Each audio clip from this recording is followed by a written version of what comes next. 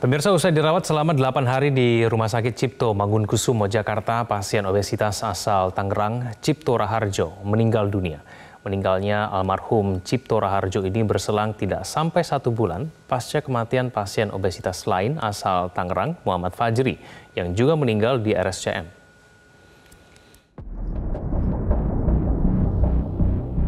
Cipto Raharjo, pasien obesitas yang berbobot 200 kg, dinyatakan meninggal dunia pada Rabu 19 Juli 2023. Pria asal Tangerang ini meninggal usai dirawat selama 8 hari di RSCM. Sebelumnya almarhum Cipto sempat dirawat di RSUD Kota Tangerang, tapi karena keterbatasan perlengkapan medis, Cipto dirujuk ke RSCM. Tidak sampai satu bulan sebelumnya, yakni pada tanggal 22 Juni lalu, pasien obesitas berbobot 300 kg. Muhammad Fajri juga meninggal dunia usai dirawat selama dua pekan di RSCM. Fajri mengalami shock sepsis hingga mengalami kegagalan organ. Dalam perjalanannya ternyata kita lihat infeksi di kakinya itu semakin berat dan juga ada infeksi di bagian paru-parunya.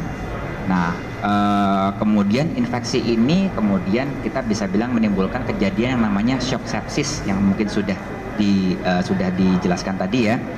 Nah, shock sepsis ini adalah suatu keadaan di mana uh, terjadi respon tubuh terhadap infeksi yang berat gitu.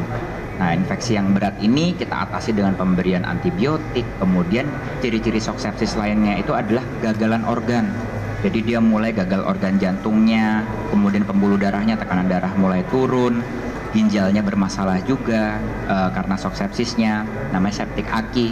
Kita kemudian lakukan dengan terapi pengganti ginjal bersama dengan dokter Pringgo, spesialis uh, ginjal hipertensi. Kemudian berkoordinasi juga dengan dokter lain, dokter pencernaan juga, pencernaannya juga kena masalah juga. Sehingga kita bisa bilang bahwa akibat dari infeksi tadi itu mengakibatkan kegagalan organ tubuh namanya MODS, multi organ dysfunction syndrome.